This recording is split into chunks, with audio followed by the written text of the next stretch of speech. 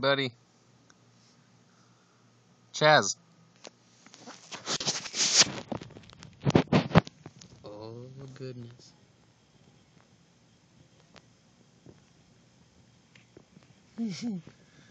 okay, Chaz, I'll leave you alone.